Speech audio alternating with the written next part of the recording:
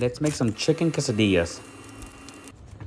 That grill nice and hot. We're gonna make some guacamole, tomato, red onion, jalapeno, cilantro, lime, avocado.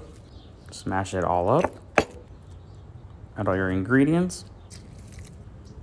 Some lime juice towards the end. And you wanna, the spice mix is gonna be all listed on my website. Using chicken thighs, using those real well. You wanna grill these until they reach an internal of 175. Got some Oaxaca cheese, slice up thin. You wanna slice this up after resting them for about three minutes.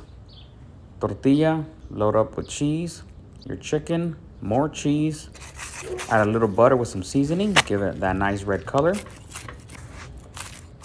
Top it up with that guacamole, it's gonna be absolutely fantastic. Go ahead and give it a go.